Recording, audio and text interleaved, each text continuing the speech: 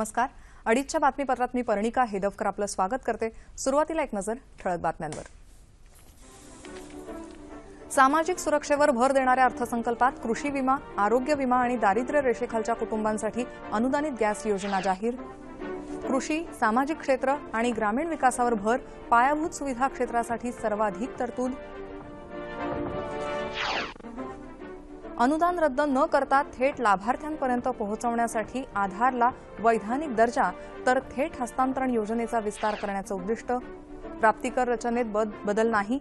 गरीब आणि मध्यम करदात्यांना दिलासा तर महागड्या उत्पादनांवरचा अधिभार वाढवला. आर्थिक बदलांना चालना देणारा अर्थसंकल्प भाजपची प्रतिक्रिया. केवळ श्रीमंतांसाठीचा अर्थसंकल्प असल्याची काँग्रेसची टीका. अर्थसंकल्पातील कररचनेच्या घोषणांचे शेअर बाजारात नकारात्मक पडसाद मात्र नंतर निर्देशांक सावरला. आणि धर्मनिरपेक्ष जनता दलाचे ज्येष्ठ नेते माजी मंत्री आणि राज्याचे माजी विरोधी पक्षनेते निहाल अहमद यांचं निधन. आणि आता पाहूयात सविस्तर वृत्त. कृषी पायाभूत सुविधा ग्रामीण क्षेत्र आणि सामाजिक संरक्षण योजनांसह नऊ स्तंभांवर उभा असलेला वर्ष दोन हजार सोळा सतरा वर्षासाठीचा एकोणीस लाख अठ्ठ्याहत्तर हजार कोटी रुपयांचा अर्थसंकल्प केंद्रीय वित्तमंत्री अरुण जेटली यांनी आज लोकसभेत सादर केला. वर्ष दोन हजार पंधरा सोळामध्ये विकास दर सात पूर्णांक सहा दशांश टक्के तर वित्तीय तूट तीन पूर्णांक नऊ टक्के असेल. तर महसुली तूट अडीच टक्के असेल असं या अर्थसंकल्पात म्हटलं आहे. चालू आर्थिक वर्षात महागाई निर्देशांक पाच पूर्णांक चार दशांश टक्क्यापर्यंत कमी झाला असल्याचं जेटली यांनी सांगितलं. जागतिक बाजारात मंदी असली तरी भारतीय अर्थव्यवस्था मजबूत असल्याचं सांगत देशांतर्गत उद्योग आर्थिक सुधारणा आणि स्थूल अर्थव्यवस्था यावर भर दिला असल्याचं त्यांनी सांगितलं. दोन हजार सतरा अखेरपर्यंत वित्तीय तूट एक पूर्णांक चार दशांश टक्क्यापर्यंत कमी होईल अशी आशा त्यांनी व्यक्त केली. परकीय गंगाजळीत आतापर्यंतची सर्वाधिक वाढ झाली असून सध्या देशात तीनशे पन्नास अब्ज डॉलर इतकी परकीय गंगाजळी आहे.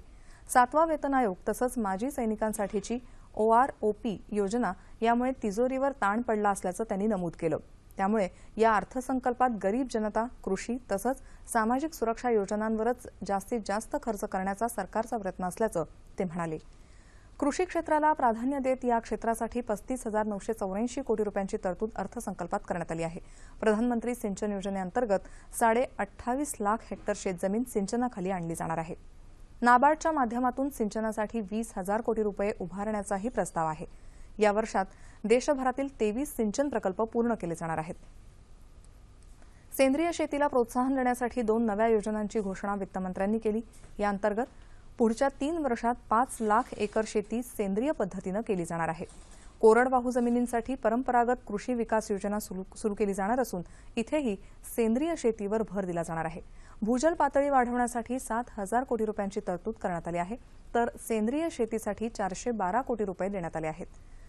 मनरेगा अंतर्गत पाच लाख शेततळी बांधण्याचं उद्दिष्ट आहे. तर मृदा आरोग्य कार्ड अंतर्गत चौदा लाख हेक्टर जमिनींच्या मृदा परीक्षण केलं जाणार आहे.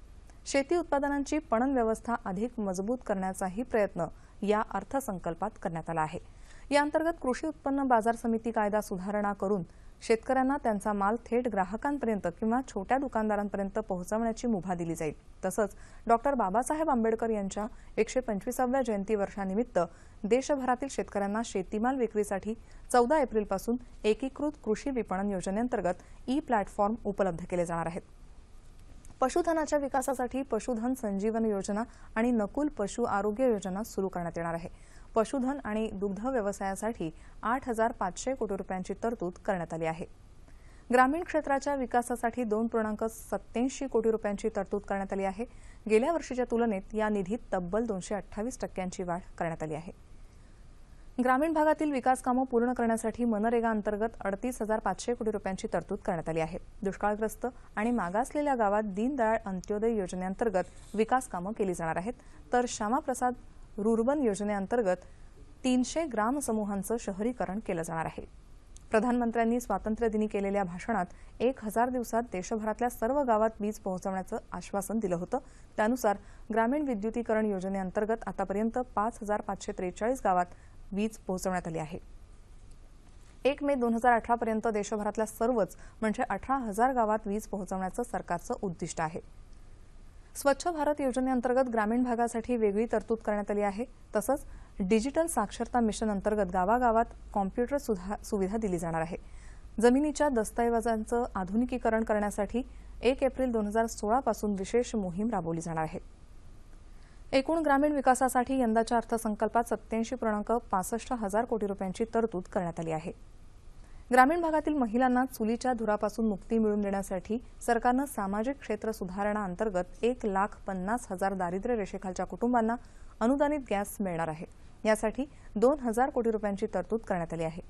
येत्या दोन वर्षात पाच कोटी गरीब कुटुंबांना अनुदानित गॅस पुरवण्याचं सरकारचं उद्दिष्ट आहे.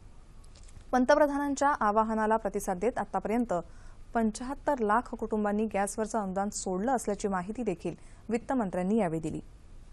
सर्व कुटुंबांना आरोग्यविषयक पुरवण सुविधा पुरवण्यासाठी सरकारनं नवी योजना सुरू केली आहे. या अंतर्गत प्रत्येक कुटुंबाला एक लाख रुपयांचं आरोग्य संरक्षण मिळणार आहे. येत्या दोन हजार सोळा सतरा या वर्षात देशभरात तीन हजार जनऔषधी दुकानं सुरू करण्याचं सरकारनं जाहीर केलं आहे. डायलिसिससाठीचा महागडा खर्च लक्षात घेऊन सरकार राष्ट्रीय डायलिसिस सेवा योजना सुरू करणार आहे. या अंतर्गत प्रत्येक जिल्ह्यात डायलिसिस सेवा सुरू केली जाईल. तसंच हे उपकरण करमुक्तही करण्यात आलं आहे. स्वच्छ भारत योजनेसाठी नऊ हजार कोटी रुपयांची तरतूद करण्यात आली आहे. अनुसूचित जाती जमातीच्या युवकांमध्ये स्वयं उद्यमशीलतेला प्रोत्साहन देण्यासाठी स्टँडअप योजनेअंतर्गत पाचशे कोटी रुपयांची तरतूद करण्यात आली आहे. तसंच डिक्की संस्थेअंतर्गत अनुसूचित जाती जमातीच्या युवकांना मार्गदर्शन करण्यासाठी व्यावसायिक हब स्थापन केलं जाणार आहे. सर्व शिक्षण अभियान योजनेसाठी यंदाही मोठा निधी दिला जाणार आहे. तसंच पुढच्या दोन वर्षात देशभरात बासष्ट नवोदय विद्यालयं सुरू केली जाणार आहेत. उच्च शिक्षणासाठी दहा सरकारी आणि दहा खाजगी संस्थांना पायाभूत सुविधा पुरवल्या जाणार आहेत. यासाठी एक नवी योजना बनवली जाईल असंही त्यांनी सांगितलं. तसंच उच्च शिक्षणासाठी एक हजार कोटी रुपयांची प्राथमिक तरतूद करण्यात आली असून त्याअंतर्गत शैक्षणिक वित्त संस्था ना नफा ना तोटा या तत्वावर काम करणार आहे.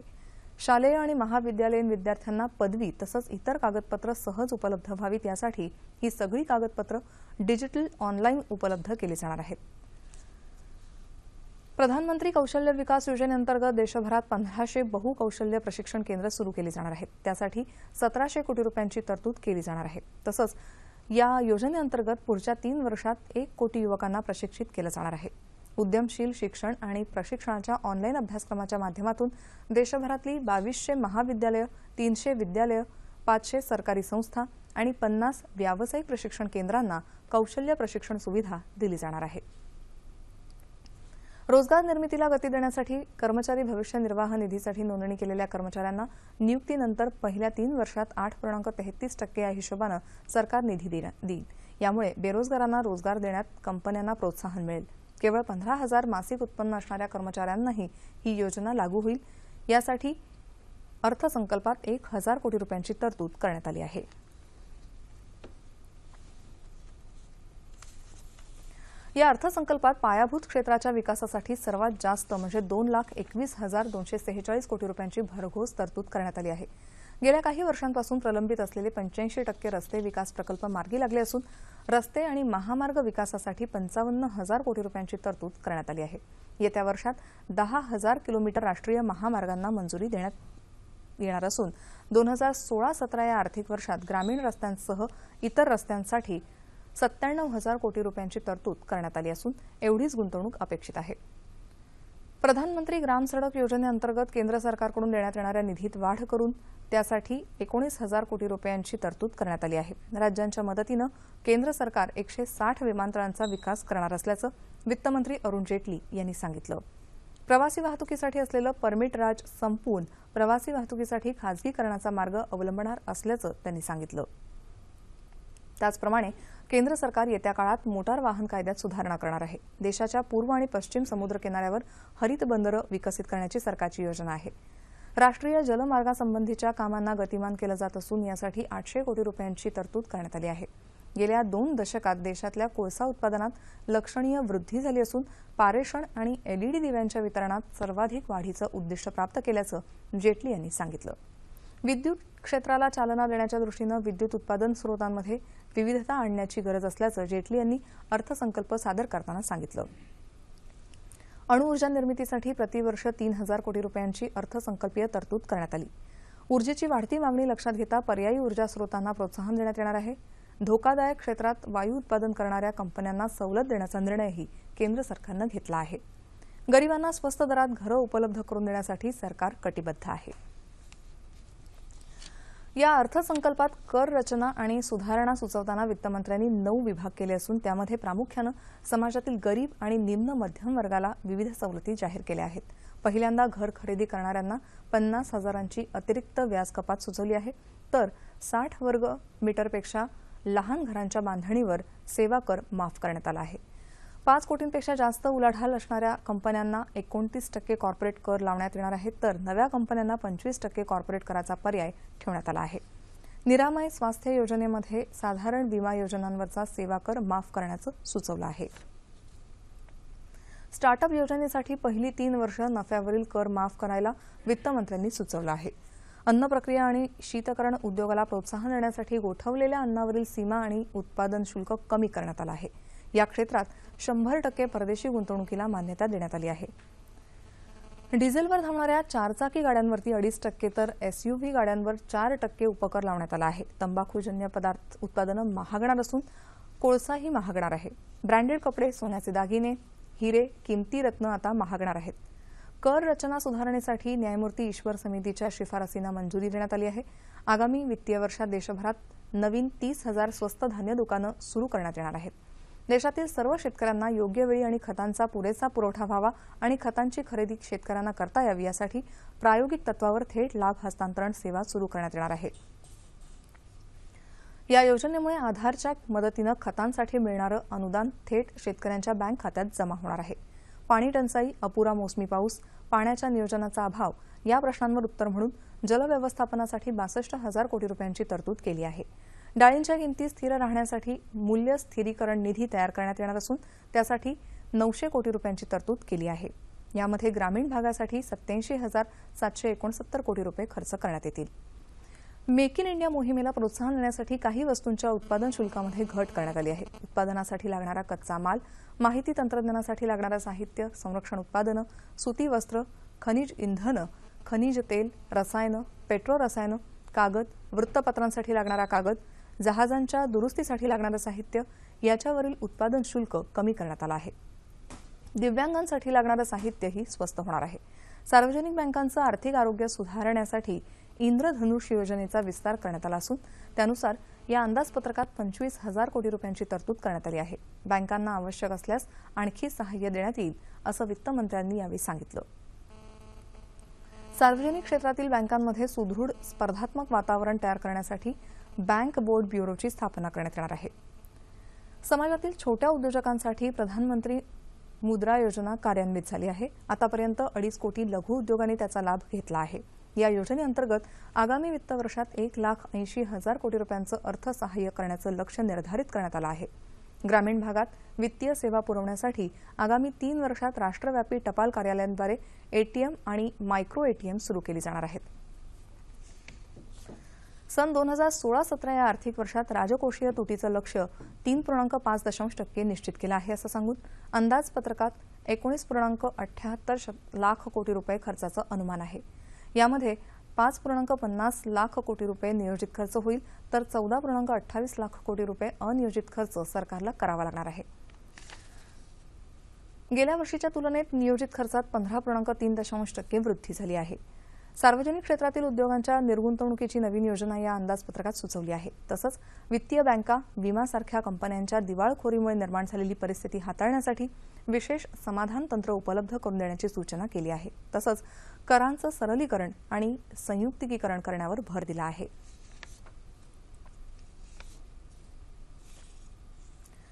महागड्या कार डिझेलवर चालणाऱ्या चारचाकी गाड्या मिश्र धातूंपासून तयार होणारं साहित्य भांडवली सामान कोळसा तंबाखूजन्य उत्पादनं ब्रँडेड कपडे हिरे सोन्याचे दागिने आणि किमती खडे या गोष्टींवर असलेला अधिभार वाढवल्यामुळे या गोष्टी महाग होणार आहेत.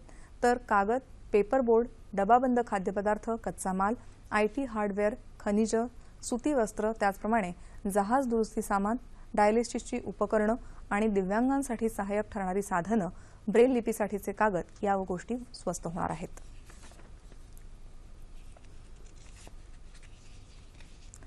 हा अर्थसंकल्प सामाजिक बदलांना आणि आर्थिक सुधारणांना चालना देणारा आहे अशी प्रतिक्रिया भाजपनं व्यक्त केली आहे. या अर्थसंकल्पात परिवर्तनाची बीजं रोवली असून गरीब शेतकरी या सर्वांचा योग्य विचार केला असून तो विकासाभिमुख असल्याचं भाजपनं म्हटलं आहे. यामध्ये पायाभूत सुविधा ग्रामीण आणि सामाजिक विकासाकरता योग्य तरतूद केली आहे अशी प्रतिक्रिया भाजपनं व्यक्त केली आहे. या अर्थसंकल्पात शेतकऱ्यांसाठी भरीव तरतूद केलेली नाही तसंच हा अर्थसंकल्प केवळ उद्योजकांचं हित ध्यानात घेऊन तयार केला अशी टीका काँग्रेसचे ज्येष्ठ नेते मल्लिकार्जुन खडगे यांनी केली आहे. तर या अर्थसंकल्पात समाजातल्या तळागाळातली जनता आणि वंचितांकडे पूर्ण दुर्लक्ष केल्याचं राष्ट्रीय जनता दलाचे जयप्रकाश यादव यांनी म्हटलं आहे. अर्थसंकल्पात कर रचनेसंदर्भात अर्थमंत्र्यांनी केलेल्या घोषणांचे नकारात्मक पडसाद आज शेअर बाजारावर उमटले. अर्थसंकल्प सादर होत असतानाच शेअर बाजाराच्या निर्देशांकात सहाशे सहासष्ट अंकांची घसरण झाली आणि तो तेवीस हजारांच्या खाली बावीस हजार चारशे चौऱ्याण्णव पूर्णांक एकसष्ट शतांश अंकांवर पोहोचला. राष्ट्रीय शेअर बाजाराच्या निफ्टीतही दोनशे तीन पूर्णांक पंच्याण्णव शतांश अंकांची घसरण झाली आणि पाच तो सहा हजार आठशे पंचवीस पूर्णांक ऐंशी शतांश अंकांपर्यंत खाली आला. त्यानंतर निर्देशांक काहीसा सावरला आणि तेवीस हजार अंकांपर्यंत पोहोचलाय. केंद्रीय अर्थमंत्री अरुण जेटली यांनी आज सादर केलेल्या अर्थसंकल्पातल्या कृषी आणि सामाजिक क्षेत्रातल्या तरतुदींविषयी विश्लेषण करण्यासाठी कृषी अर्थतज्ञ अरुण खोब्रागडे आज आपल्या स्टुडिओत आले आहेत. तसंच चार्टर्ड अकाउंटंट किशोर चौधरी देखील आपल्या स्टुडिओत आले आहेत. नमस्कार सर. नमस्कार. आजच्या बातम्यांमध्ये आणि या अर्थसंकल्पाच्या चर्चेत मी आपलं स्वागत करते. ह्या अर्थसंकल्पात वित्तीय अर्थमंत्री अरुण जेटली यांनी भरीव तरतूद ही कृषी क्षेत्रात आणि पायाभूत सुविधा क्षेत्रात केलेली आहे. तर कृषी क्षेत्रातल्या तरतुदीविषयी तुम्ही काय सांगा मागच्या वर्षीचा जो बजेट आला होता आणि तसंच जमीन अधिग्रहण कायदा त्याच्यावर जी आराड ओरड चालू होती ते हे अपेक्षित होतं की तिसरं जे बजेट बजेट येईल बीजेपी सरकारचं ते कृषी आणि सामाजिक क्षेत्रालाच अधिग्रहित करेल म्हणून.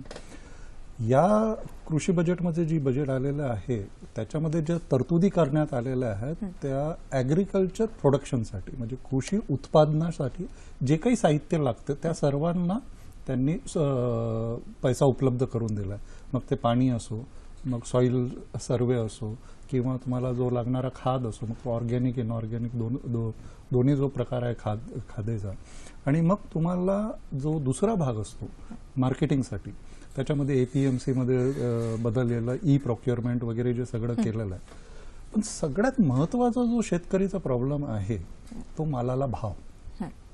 राईट त्याच्या संबंधी अजून सुटका त्याच्यातून झालेली नाही आहे तर हे कसं म्हणजे ॲग्रिकल्चर इन्फ्रास्ट्रक्चर ज्याला आपण म्हणतो त्याच्यावर भरीव तरतूद झालेली आहे. म्हणजे दुष्काळाचे जे प्र- परिणाम होत होते किंवा अधिक पावसाचे जे परिणाम होत होते ते परिणाम आता हळूहळू आपल्याला दिसणार नाही. म्हणजे सडनली पाऊ एल निनो आला पाऊस नाही झाला त्याच्यामुळे दुष्काळ होतो आहे. असं पुढच्या पाच सहा वर्षात आपल्याला दिसणार नाही कारण जलशिबिरं आणि पाणी इरिगेशन वगैरे ते सगळ्याची तरतुदी याच्यात झालेली आहे. सॉइल टेस्टिंग वगैरे करता आहेत त्याच्यामुळे जे ग्राहकाला आजकाल प्रॉब्लेम्स यायला लागलेले आहेत because of extra usage of fertilizer ते सगळे आता संपतील. आणि जो इकॉनॉमिक सर्व्हेमध्ये डिटेलिंग आलं होतं की युरिया जरी सबसिडाइज्ड रूपाने ॲग्री फार्मरला भेटते पण त्याच्यासाठी स्मॉल फार्मरला खूप पैसे खर्च करावे लागतात. तर ते सगळं आता direct benefit transfer for fertilizer होणार आहेत. आधार कार्डचा उपयोग करणार आहेत ते ॲग्रिकल्चरसाठी आणि सर्वात महत्वाचं म्हणजे लँड मॅपिंग होणार आहे. ठीक आहे? तर हे सगळे जे तरतुदी आहेत ते agriculture production and agriculture infrastructure याच्यावर भरपूर तरतुदी झालेल्या आहेत. मला वाटतं पुढे जी प्रक्रिया चालू होईल ती हे येईल की ॲग्रिकल्चर प्रोड्यूसवर प्राइसिंग आहे तो पण शेतकऱ्याला करता येईल. अ, खोब्रागडे सर तुम्हाला प्रश्न विचारेन मी की सामान्य करदात्यांना याच्यातून काय दिलासा मिळालेला आहे? किंवा लहान उद्योग आणि पेन्शनर्स यांच्यासाठी काय तरतुदी केलेल्या आहेत? सामान्य माणसाच्या दृष्टीने सगळ्यात महत्त्वाचा जर विचार केला तर तो असा आहे की भाववाढ होऊ न देणे याची काळजी या अर्थसंकल्पामध्ये घेतली गेली असल्यामुळे तो सगळ्यात मोठा फायदा आहे. म्हणजे असं होतं की टॅक्सच्या रूपाने थोडे पैसे वाचले आणि जर भाववाढ झाली तर त्याचा तुम्हाला काही फायदा होत नाही. तर ह्या वर्षी एक गोष्ट निश्चित आहे की भाववाढ होण्याची शक्यता अत्यंत कमी आहे. आणि अगदी कराचाच जर विचार करायचा म्हटला तर साधारण तीन गोष्टी सामान्य माणसाला दिलेल्या आहेत. पहिली गोष्ट अशी आहे की पाच लाखापेक्षा कमी उत्पन्न असलेल्या माणसाला इन्कम टॅक्समध्ये एक सेक्शन एट्टी सेवन ए आहे. त्याच्यामध्ये दोन हजारापर्यंतची सवलत होती. ती आता पाच हजारापर्यंत केलेली आहे. दुसरी गोष्ट अशी की हाऊस रेंट अलावन्सचा जो बेनिफिट होता तो आतापर्यंत वर्षाला चोवीस हजार रुपये असायचा. तो साठ हजारापर्यंत गेलेला आहे. या दोन गोष्टी आहेत. पण या सगळ्यात पेक्षा महत्वाची गोष्ट अशी आहे की हाऊसिंग क्षेत्राला त्यांनी जे एकंदर उत्तेजन दिलेलं आहे त्याचा सामान्य माणसाला खूप मोठा फायदा होणार आहे. आणि तो सगळ्यात मोठा फायदा आहे. अर्थात म्हणजे एकूण असं आहे की ही सगळी जी काही गुंतवणूक आता सरकारने केलेली आहे, योजना सांगितलेल्या आहेत ही सामान्य माणसांपर्यंत पोहोचवण्याच्या दृष्टीनं आता सरकार कसं काम करतं त्यावर ह्या अर्थसंकल्पाचं आणि एकूणच सरकारचं यश अवलंबून आहे. सर आपण याआधी आमच्या बातम्यांआधी जी काही अर्थसंकल्पविषयक चर्चा झाली त्यातही सहभागी झालाच होतात आणि तिथे तुम्ही प्रामुख्याने तुमच्या सगळ्या मुद्द्यांचं स्पष्टीकरण आणि सांगितलं मार्गदर्शन केलेलं आहे. या- या बातम्यांमध्ये आम्ही वेळेच्या अभावी आपल्याला इथेच थांबावं लागतंय. पण आपण इथे आलात त्याबद्दल धन्यवाद. धर्मनिरपेक्ष जनता दलाचे ज्येष्ठ नेते माजी मंत्री आणि राज्याचे माजी विरोधी पक्षनेते निहाल अहमद यांचं आज सकाळी नाशिकमध्ये वृद्धापकाळानं निधन झालं. ते नव्वद वर्षांचे होते. एकोणीसशे बासष्ट मालेगाव नगर परिषदेचे नगराध्यक्ष म्हणून त्यांच्या राजकीय कारकिर्दीची सुरुवात झाली होती. त्यानंतर एकोणीसशे सदुसष्टमध्ये आमदार म्हणून निवडून आल्यानंतर पुन्हा एकोणीसशे सत्याहत्तर ते एकोणीसशे नव्याण्णव पर्यंत सलग मालेगाव मतदारसंघाचं त्यांनी प्रतिनिधित्व केलं. तसंच एकोणीसशे सत्याहत्तर ते ऐंशी या काळात त्यांनी राज्याचे उच्च आणि तंत्रशिक्षण तसंच रोजगार हमी योजनेचे मंत्रीपद भूषवलं. एकोणीसशे शहाऐंशी ते एकोणीसशे एकोणनव्वद या कालावधीत ते विधानसभेचे विरोधी पक्षनेतेपद त्यांनी सांभाळलं होतं. मालेगाव महानगरपालिकेच्या महापौरपदी देखील त्यांनी काम केलं. महाराष्ट्र जनता दलाचे प्रदेशाध्यक्ष म्हणून सुद्धा त्यांनी काम पाहिलं होतं. हवामान? राज्यातल्या काही भागांना काल अवकाळी पाऊस आणि गारपिटीनं झोडपलं. अमरावती जिल्ह्यातल्या चांदूर बाजार तालुक्यात काल झालेल्या गारपिटीमुळे कांदा गहू आणि संत्रा पिकाचं मोठं नुकसान झालं आहे. आजही तिथे वातावरण ढगाळ आहे. सोलापूर जिल्ह्यात सांगोला तालुक्यातल्या खवासपूर अजनाळे आणि करमाळा परिसरातही काल अवकाळी पाऊस झाला. सांगली जिल्ह्यात आरपाडा कवठे महांकाळ तासगाव मिरज तालुक्यातल्या भागात काही काल वादळी वाऱ्यासह पाऊस पडला. त्यामुळे द्राक्ष बागांचं नुकसान झालं. उस्मानाबाद जिल्ह्यात उमरगा तेर हिंगलजवाडी उपला इथं काल संध्याकाळपासून वादळी वाऱ्यासह पाऊस पडला. तसंच लातूर जिल्ह्यातही औसा रेणापूर निलंगा उदगीर चाकूर अहमदपूर तालुक्यात काल हलका पाऊस झाला. नाशिक शहराच्या पंचवटी भागात तसंच गोदावरी नदी किनाऱ्याच्या परिसरात काल हलका पाऊस पडला. नागपूरमध्ये आज सकाळपासून पाऊस सुरू होता. विदर्भाच्या काही भागात दक्षिण कोकण मध्य महाराष्ट्र आणि मराठवाड्याच्या तुरळक भागात आज मेघगर्जनेसह पाऊस पडण्याची शक्यता हवामान विभागानं वर्तवली आहे. आज मराठवाडा आणि विदर्भाच्या काही भागात वावटळीचा इशारा हवामान विभागानं दिला आहे. मुंबईत आज अंश तापमान वातावरण अंशतः ढगाळ राहील. ठळक बातम्या. पुन्हा एकदा. सामाजिक सुरक्षेवर भर देणाऱ्या अर्थसंकल्पात कृषी विमा आरोग्य विमा आणि दारिद्र्य रेषेखालच्या कुटुंबांसाठी अनुदानित गॅस योजना जाहीर. कृषी सामाजिक क्षेत्र आणि ग्रामीण विकासावर भर पायाभूत सुविधा क्षेत्रासाठी सर्वाधिक तरतूद. अनुदान रद्द न करता थेट लाभार्थ्यांपर्यंत पोहोचवण्यासाठी आधारला वैधानिक दर्जा तर थेट हस्तांतरण योजनेचा विस्तार करण्याचं उद्दिष्ट. प्राप्तिकर रचनेत बदल नाही गरीब आणि मध्यम करदात्यांना दिलासा तर महागड्या उत्पादनांवरचा अधिकार वाढवला.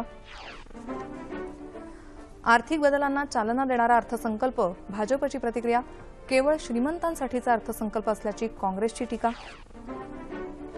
अर्थसंकल्पातील कररचनेच्या घोषणांचे शेअर बाजारात नकारात्मक पडसाद मात्र नंतर निर्देशांक सावरला.